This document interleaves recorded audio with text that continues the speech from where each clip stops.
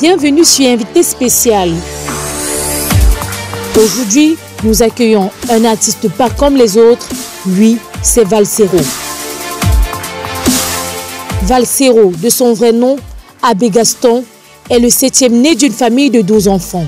Il fit ses études à Yaoundé jusqu'au secondaire avant d'opter pour l'école nationale des postes, d'abord de Boya, puis Yaoundé, où il obtient son diplôme de technicien des travaux de télécommunications, option communication.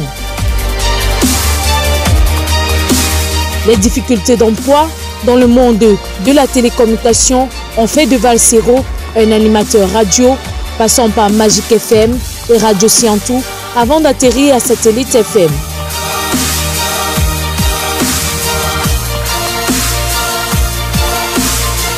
En 1990, Valsero commence sérieusement à s'intéresser au rap, un mouvement embryonnaire commence à prendre forme.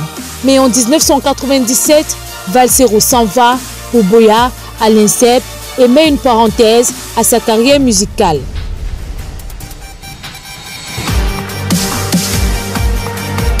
Après l'obtention de son diplôme en 2000, par souci encore d'emploi, il renoue avec le rap et forme un autre collectif baptisé Carazone. En 2002, diplômé sans emploi, avec frustration et corruption, il écrit une chanson intitulée Ce pays tue les jeunes, qui devient un hymne de la jeunesse avec plusieurs chansons encore. Un disque qui va être tiré en 5000 exemplaires et distribué gratuitement dans le pays. Mais il faut que je te parle.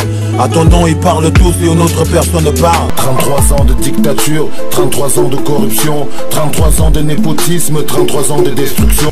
Son actualité politique en ce jour est connue.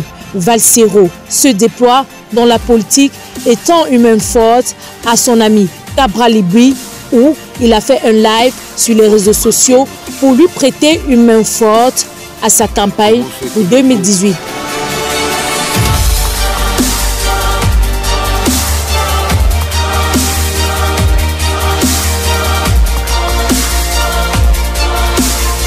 Aujourd'hui, Valsé reçu invité spécial promet de dire la vérité, seulement la vérité et rien que la vérité. Bienvenue Valsero sur invité spécial.